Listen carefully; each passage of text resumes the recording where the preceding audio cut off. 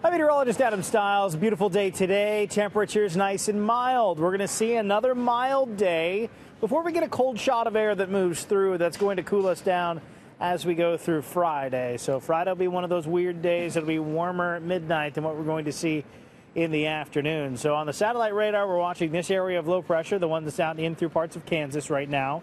There's another low that is up toward the north. Those two are going to join forces. Snow across northern Ontario, rain for us here in southern Ontario.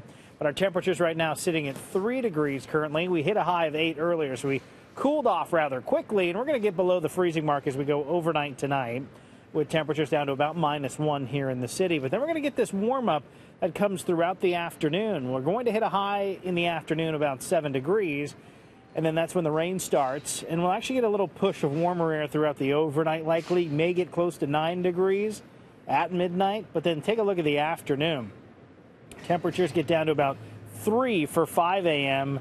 and then drop off to about a degree or 2 degrees into the afternoon. So it'll be a reverse temperature trend type of a day. Now, in terms of what we're going to see with that rain, it rolls in at about 3:30. It continues through 5 o'clock. So wet roadways for the evening commute, but mild conditions. So we're not worried about that icing up. And then we're going to see those cooler temperatures arriving through the day on Friday. So the daytime high that you'll see on the seven day is a little misleading. We'll talk about that in a bit. Morning commute looks fine. It's the evening one we'll watch tomorrow. So zero is how we're going to start the day. By midday, we're up to about four degrees.